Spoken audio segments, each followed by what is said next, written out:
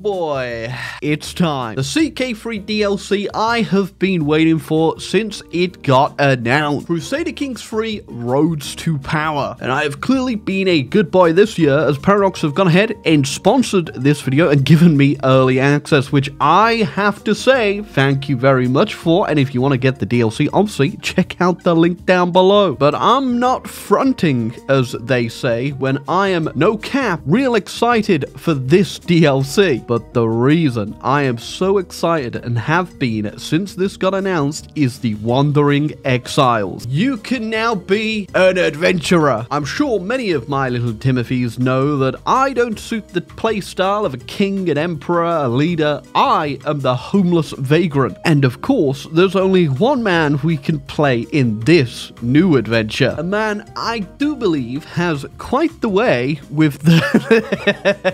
Bonjour, I've been there, have lost my hair. That's been a rough few weeks. Yeah. Not taken a shot in these years. Conniving puppet master, lustful and whole of body. A garlic bread Yeah, last one is just because I'm kind of scared he might die. riddled with venereal diseases. Now, in this universe, Mr. Pepe Pepe Bejetti has not had the best of life. He's a landless ruler. No land, no money, and certainly no fair maidens. And here we have it, our realm. It's a tent. And whilst it is uh not exactly too homely right now, it will grow and become larger. We already start with two camp followers, Catherine the Trickster and Mark Margot. And other than our two plucky followers, that's all we have for now. Now we can go ahead and move our camp wherever we want, as long as we have enough provisions to make the journey. But we don't want to be traveling just yet because on the map are contracts we can accept as our adventure to get a bit of moolah going. Because we are, as the French would say, le bro. Now we do have a few contracts right here that we can take, but we are obviously a intrigue-based character, so we're going to go with abducting. And if we pull it off, we will get ourselves a 125 gold, a bit of opinion of the guy that wants us to do it, and some more apples so we can travel around. Now, traveling over here won't be too much of a bother, but sometimes when you travel, you will need to get a few guys together to make it easier for you, as there's a lot of danger in the world. Uh, this is where I trip on a rock and break my neck immediately. Uh-oh. I was staying in this guy's little shack, and now he wants 50 gold out of respect, and, uh... but do not with a bit of conniving, I can get of this one. Uh, pay me 50 gold instead. Somehow that worked. Okay, so we need to abduct Matthew. This guy does not like him, and he'll pay us good money to get it going. So hopefully we don't mess us up. And schemes are now different as you can see. We have our overall success chance which can be increased by hiring new people for the scheme and our current rate which if we could hit it right now we'd have a 17% chance of succeeding. Now obviously I'm only walking around with my two beautiful ladies Catherine the Trickster and Margot so I don't really have anyone to fill out the fug roles but we can get a lookout potentially and you can see what they would actually add. So realistically we want to get the success chance up, so we're gonna need to put somebody as the fug. And Catherine, you're gonna have to muscle this guy down. Now, because the secrecy is so high anyway, I think we'll just put Margot on the speed one here so that we get to the next phase a bit quicker. Okay, we've got ourselves up to the max amount we can go. We've got five advantages, and these are what we spend to actually execute the plan. Oh, so while I was waiting around, we've got another fellow come and join us, and this guy could be used in our scheme. Uh, he's not exactly great at anything we need, but we'll throw him onto the fug role, and hopefully that'll up our chances a bit. Okay, another thing is these advantages right here which you get over time, and you'll use these to actually execute the plan. We've got 10 right now, so we can execute with confidence, and hopefully with a 57% chance of success, we get it. Nice! Excellent! I did, however, gain the trait Gallows Bait, which is kind of in the name there. We're becoming a bit of a bad boy. But there you go. We did our scheme. We have completed it. We got paid. And now we can spend some of that money on our camp. Okay, I think we'll start off with the baggage train. That'll give us more provisions and also more people will be more likely to turn up when we scout for talent. And this guy is very happy that we gone ahead and captured the fella he was after. Now, uh, Matthew, on the other hand, though, hopefully he never gets out of this prison. It would uh, not be too good for me. Oh, now immediately we've got ourselves another job down here, so we're gonna go straight to that one. And this one, we are burgling the treasury of Countess Hildegard, and this we have a very good chance of succeeding it. Oh, those bebés smell a little romance in the air. Oh no, that is still me. But it seems Minash and Margot are getting along. Hmm, a little well, I see. Oh, Margot is after a bit of le Begetti, I see, and uh, I'm gonna go ahead and say yes. That takes some stress away, even though I'm not stressed at all. And after a night of frolicking, it's time to execute our scheme. Okay, let's see if we can go ahead and get this heist done successfully. Ah, we got across easy, we've broken in, but we can also steal a bit more. It definitely comes with risk, because if we get caught, she is, she's gonna come for me. Oh, we did it, no problem, but she definitely knows it was me. Such, I think it might be best we move the camp now. Now, let's just say because we are, you know, taking the back alley here and doing a few dark and shady things, we're gonna become freebooters over here and set our camp purpose. Becoming a brigand is definitely gonna get us more attention, but also more stuff to steal. Oh, it also comes with this complimentary mace, apparently. So because we have made a little friend over here when we captured Matthew, we can ask him for a request. I'm going to ask him for some men at arms. And there you go. I just got myself armored horseman. That's going to come in handy. You know, just in case things ever go bad. Ah, uh, my frolicking with Margot has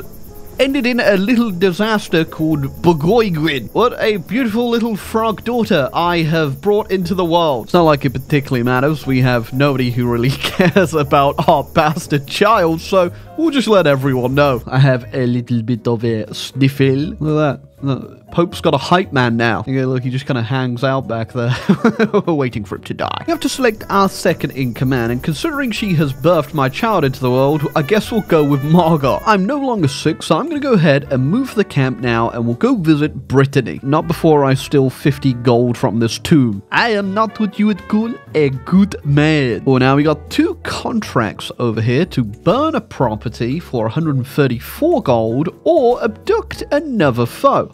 133 gold. You know what? They're both criminal. I'll just go burn this guy's house down. But we completed that immediately. So give me some money. Also means I could just go down here immediately and go abduct that guy. There you go. Another scheme successful. Okay, we're hanging out in the Duchy of Normandy. And one thing we can actually do that I haven't showed off yet is actually go visit the castle. And let's see if there's anyone around to join our band of merry thieves. Uh, so we have Millicent, Stephen Gerard, and Clemenza. Clemenza actually is a wise woman and quick, so I think we could probably use her expertise. She's also a little bit conniving. Holy moly, I'm robbing this guy. And he's got a lot of gold. We just got out with 456 gold right there. Safe to say, though, we should definitely never come back here. But yeah, at the same time, I don't think we need to worry too much. I think we got him just as he was leaving anyway. I have gained the new name, The Accursed. Now, it seems the King of England has stolen my favorite boy, Nay Troy. I think we're going to have to go over there and pay him a little visit. Oh, you want me to pay for him, huh? You think I got 10 gold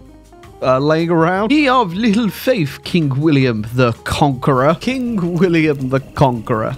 I don't like it. Pepe Le Pep of Begetti has officially killed a king. And oh boy, do people know about it. And I think we've got quite a name for ourselves in France and now England, so we're going to move our camp a little bit further away. Our baggage train, we can have a internal upgrade slot on it where we have a whole bunch of interesting things we can buy. One of which I'm interested in is ransom cages, which automatically unlocks the abduct scheme for us. We've also grabbed Mortician's tool tools where any battle that is on my camp or I'm a part of, we can gain some gold from it. That's right, we are rifling through the pockets of dead men. Okay, there's a battle on me right now. How much gold will I get? Oh, that actually, that's actually quite a bit. I'm currently trying to abduct this child. Then sell the child back to its owner for a hook on the King of France, just in case. Although at the same time, hopefully he de-stresses a bit. Oh yeah, hopefully he he uh,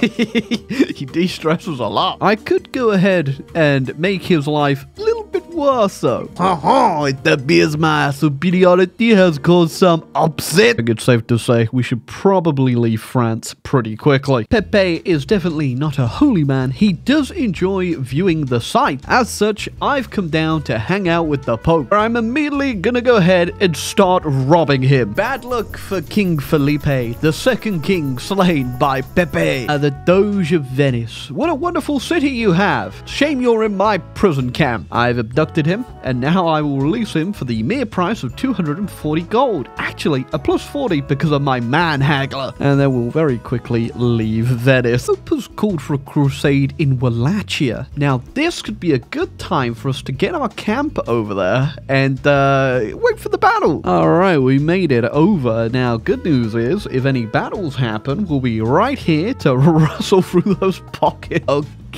it begins. Already got a little bit of gold there. Hopefully we can get some more. Okay, there you go. There's the big one right there. Boom, boom, boom, boom, boom. 32. Oh! Thank you for the 200 gold. Now I'm just thinking, if one of these ended up over in uh, the Middle East, those battles get pretty big. Somehow they lost that crusade, but I won it. I ended up with like 347 gold, and I've just upgraded my campfire over here with the Juicy Rumors, which will give us criminal contract rewards plus 50%. Okay, next, so let's get out of Wallachia over here and take a little gander down to Constantinople. Now, whilst our little camp has been quite prosperous, we've had many adventures. One thing Pepe hasn't done is got married. Uh, it doesn't mean he hasn't philandered a little in his time. One way we can get ourselves a wife is by making people happy with their contracts. We can then make a request and they'll find us one. Oh, that's if they have someone for us to marry. This one. She ain't great, she don't like me, but we're gonna take her. I haven't shown off is that you can actually get an army and become a mercenary band. I have some men at arms and I've been hired by this guy down here to take down his enemy. Good news, I banged my wife. Oh, and my daughter is born. Second daughter, I should say. She's an albino. In honor of tradition, she will be garlic bread. And we've also popped out a son called Le Pep. I guess we'll go with Le Pep to garlic bread aloo. And oh boy, what a good looking fella. I'm not too sure who Coco Coco Coco Coco Coco Coco Coco Coco Coco Co Duchy as is of the Explorers of Alar is. I do like his style. The age of 70. He's still feeling good, but let's be real, I ain't too sure how long he's got left. I swear his head is getting larger. As such, I think it's time that we take Pepe on one last adventure across the globe. We've been to France, we went to England, Germany, Rome, Constantinople. Uh, also just hanging out over here with High Chieftain Otrok. But let us now journey to the end of the world. We'll start off by making our journey over to the great Khanate of Kimek. We will be immediately thrown out by the vile, horrendous Khanum Sevile. I have to politely say, try and kick me out. We're going to take you with us. Uh, while traversing down to India, I got the bloody flux, and they've chopped my arm off. Looking too good. Ow.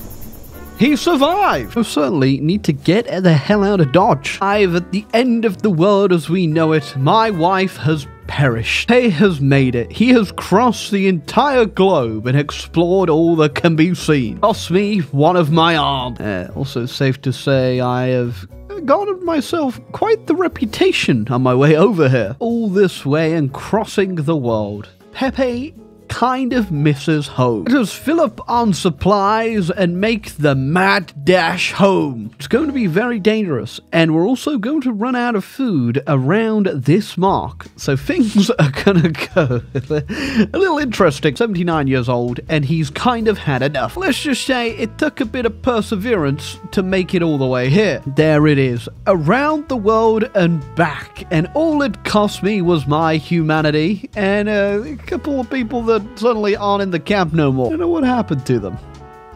I don't know. Oh, but it's just soon as we got here. Huh. Hey, but adventure awaits, Paris. Here comes the crusade. I'm not gonna get involved, obviously, but I will stick around and wait to reap the reward. Oh, I guess we can break into his castle too while we're here. Here you go. Ah, don't mind if I do. Pepe's 83 now. I don't know how he's still going around. Oh, Pepe, what a damn life he lived. Oh, battle, battle, battle, battle, ba- gold, gold, gold. You know, with Pepe gone though, maybe Boss Le Pep to Garlic Breadaloo goes on a different path. Boy, Garlic Breadaloo has joined the crusade and usurped the siege of Valencia to steal the glory. The success of that siege, he has been declared the king of Valencia. Yep, random mercenary with like 2,000 men turned up, sieged down a castle, and like, all right, we're not gonna mess with this guy. We'll just make him the damn king of the place. That'll be the end of our story, or really just the beginning for Pepe Le Garlic Bread to Alou. Um, qu- quite the name was really Pepe's story, and Pepe, well, uh well, he's dead. That was the end of his story and this video. I hope you enjoyed having a little look at the new CK3 DLC. Expect to see more of this, especially around the Mega campaign, because it's going to really be a different one this year. And obviously, if you want to check out the DLC, you can click my link down below because this was a sponsored video, and I have to say, I enjoy this DLC very much. It feels like a whole new game within CK3. But until next time, little Timothy's, I'll catch you on the other side of the world. Oh, I think we may have left some sort of bug over there by luck.